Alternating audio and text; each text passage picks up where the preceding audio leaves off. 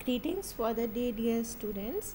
In my previous lectures I had discussed about the hydrolysis of ATP and in which I had told you about the introductory part of the hydrolysis of ATP.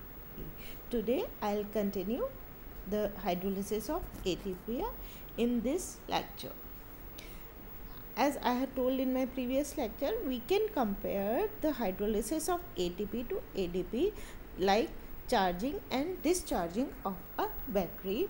We can think of ATP and ADP as being sort of like the charged and uncharged forms of a rechargeable battery as we I had shown you in the previous slide.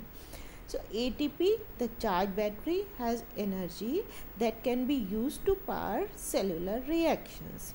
Once the energy has been used up the uncharged battery that is ADP must be recharged before it can again be used as a power source for the cell.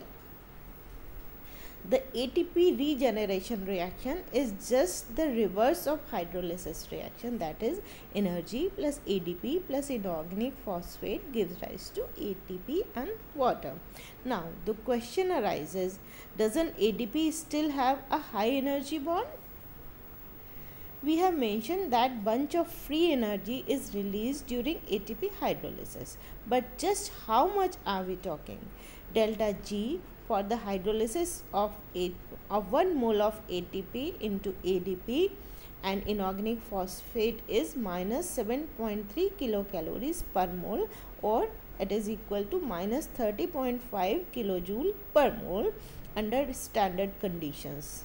standard conditions as we know 1 molar concentration of all molecules at 25 degrees centigrade and pH of 7.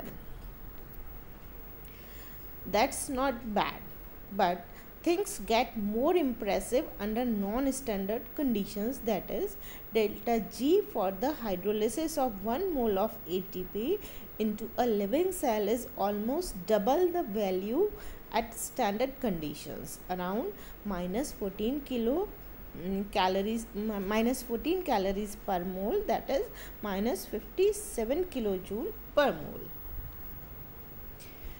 Now we have to see the reaction coupling. How is the energy released by ATP hydrolysis used to power other reactions in a cell? In most cases cell uses a strategy called reaction coupling in which an energetically favorable reaction like ATP hydrolysis is directly linked with the energetically unfavorable that is endergonic reaction. The linking often happens through a shared intermediate meaning that a product of one reaction is picked up and used as a reactant in the second reaction.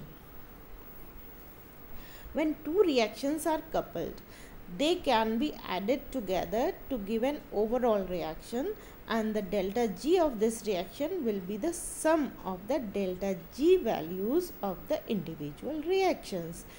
As long as the overall delta G is negative, both reactions can take place. Even a very endergonic reaction can occur if it is paired with a very exergonic one such as hydrolysis of ATP. For instance, we can add up a pair of generic reactions coupled by a shared intermediate B as shown in the next slide. Here A and B a gives rise to B and the reaction is reversible and delta G for this reaction is X. Now the other reaction in which the product of first reaction is the reactant for second reaction and B gives rise to C plus D and delta G for this reaction is Y. When we add up these two reactions, we get A gives rise to C plus D and delta G is equal to X plus Y. We might notice that intermediate B doesn't appear in overall coupled reaction. This is because it appears as a both a product and a reactant. In the first reaction it is product and in the second reaction it is the reactant. So two B's cancel each other out when the reactions are added. Now we see the ATP in reaction coupling. When reaction coupling involves ATP, the shared intermediate is often a phosphorylated molecule. Phosphorylated, phosphorylated molecule is one uh, to which one of the phosphate groups of ATP has been attached. As an example of how this works, let's look at the formation of sucrose or table sugar from glucose and fructose. We can take a case study to understand this that is sodium potassium pump. It's energetically unfavorable to move sodium ions out of or potassium ions into a typical cell because this movement is against the concentration gradients of the ions. ATP provides energy for the transport of sodium and potassium by way of membrane embedded protein called sodium potassium pump that is NAK pump. Here in this diagram the sodium potassium pump exchange pump is shown.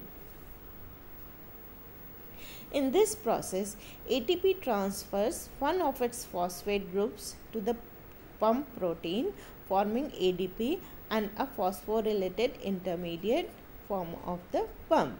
The phosphorylated pump is unstable in its original conformation facing the inside of the cell so it becomes more stable by changing shape opening towards the outside of the cell and releasing sodium ions outside. When extracellular potassium ions bind to the phosphorylated pump, they trigger the removal of the phosphate group, making the protein unstable in its outward facing form. The protein will then become more stable by returning to its original shape, releasing the potassium ions inside the cell.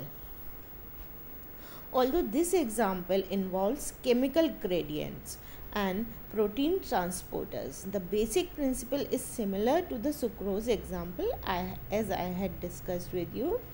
ATP hydrolysis is coupled to a work requiring that is energetically unfavorable process formation of unstable phosphorylated intermediate allowing the process to take place in a series of steps that are each energetically favorable.